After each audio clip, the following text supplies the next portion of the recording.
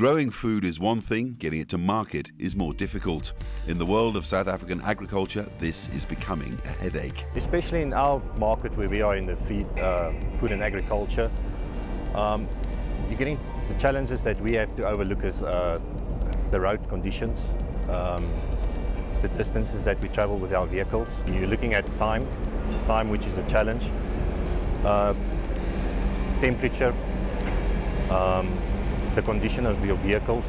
Uh, you have to maintain your vehicles, make sure that your ve vehicles are in a proper condition, uh, not to have any delays on the road or um, to, to, to, prevent the birds from being delivered within time to make sure um, that you uh, uh cut down on your mortalities of, um, of, of, the birds. The days of using the South African railway seems to be coming to an end. Many rails have fallen into disrepair. Most of the, the customers moving actually away from, from uh, rail transport to road transport uh, because it's quicker, it's faster, um, and you get your product in time. It's not all those constraints that's uh, going hand in hand with uh, rail transport. One of the biggest freight issues in South Africa is costs, especially when it comes to the railways. It is said that in the next three months, logistic group Transnet will tap into the global debt market to raise a billion dollars to support its continued infrastructure investment projects. Meanwhile, South African farmers are struggling to get their produce to export markets.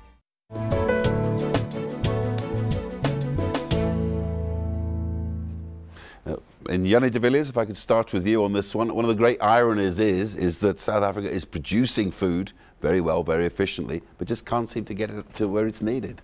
Yeah, we, we're really struggling at the moment. I think the, the mix between what happened in the past, where we, we transported about 80% of all our grains by rail, and all the feed plants and the milling industry uh, plants were all built to receive their, their grain by rail because grain is actually very rail friendly, it is very effective. We've installed some capital equipment that you can just tip a truck over, you know, within eight minutes and so forth. But um, as the services um, and, and, the railway lines deteriorated, um, so all the grains are moving onto the rail. So at the moment, we've moved from like 80% on the rail to like 20% on the rail at the moment. And uh, at the moment, the, the road is also like 20% you know, depending on the distance, is, is more expensive uh, than rail. So at, uh, you know we're adding cost to, to, the, to the already suffering consumers out there, and, and this is something that we really need to address in this country. Now, Erhard uh, Briedenhann, you're our soft commodities man. How is all of this chaos affecting prices? Uh, certainly, uh, rail is the most effective way of moving grain, uh, from a cost point of view in particular, but it needs to be reliable and, e and efficient for, for to work and uh, certainly um, affects also uh, export parity prices if you can't move the product. I mean, Jannie, I mean, one of the, um, the great ironies is also most of the ports in South Africa are built to take railway lines. Um, why, what's happening? Yeah, I think the irony is uh, in this year when we, we, we sit with this huge surplus and we actually normally have shift our surplus into Africa where there were always, you know, the hunger and, and all these sort of problems. And recently Africa has started to produce more and all of a sudden we have to shift more deep sea. And uh, I think uh, I've heard something last week that the Port of East London is not functioning at the moment um, and there's some problems and, and, they need some big money to uh, invest there to, to fix all of that.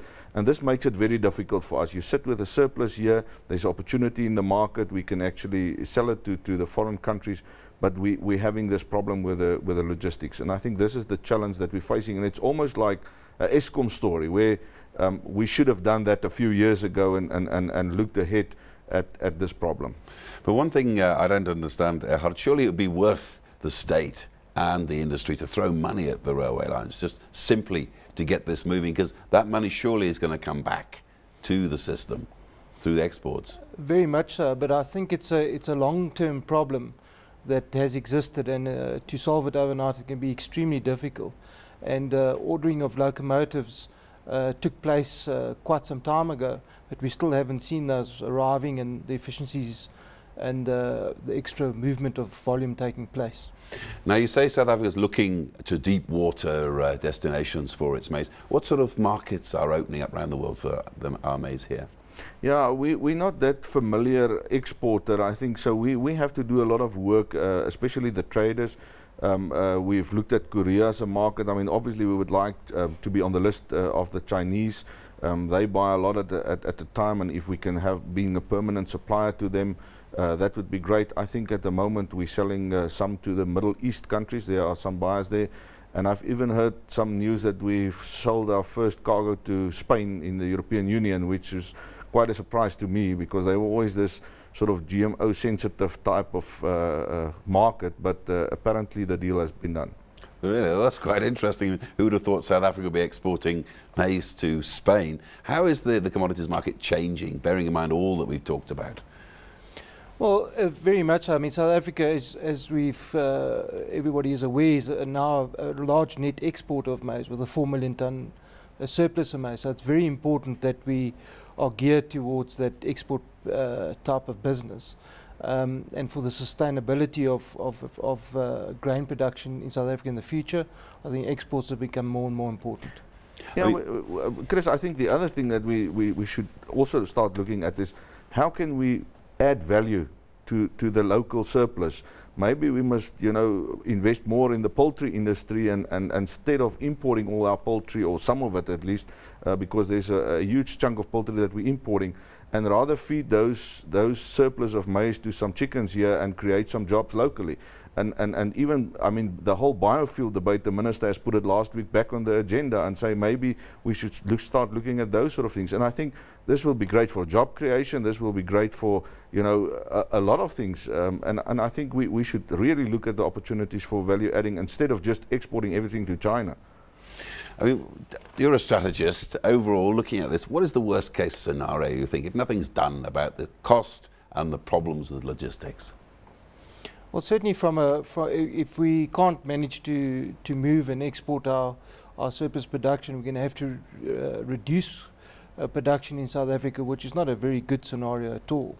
Um, and secondly, um, we are not competitive then globally as far as animal production is concerned and we'll see more and more imports of, of animal products coming into the country, and slowly but surely the agricultural production in South Africa uh, deteriorating. So it all sounds rather depressing, Jannie. I mean, if I'm a farmer, a grain farmer sitting out there in Groblersdal or wherever, I mean, what would you say to me? To even try and comfort me, maybe? well, I think the, the whole fact that food security has been elevated to the, to the top priorities of government I think we will probably see in policy a, a, bit of change coming through. It might take a bit of time. Um, just to add to the risk um, that you were asking Erhard about, um, we are net importers of wheat, uh, which goes into the bread. And I mean, if we can't import wheat uh, because of the problems in, in, terms of logistics, I mean, obviously you, you run you, you might run out of bread on the shelves like Zimbabwe for other reasons. But uh, uh, this is the typical type of risk. But I think for the farmers, I mean, they can still reach the markets. It's it's too expensive, I think, and we can do it better and cheaper. But uh, I think there's a little uh, political will, social responsibility that they have to sit down and say, right, we want to fix the railway lines. Where do we start first? And as Erhard said, it's a long-term thing, but we need to start somewhere. I mean, and, and let's look at the grain corridors and start investing there.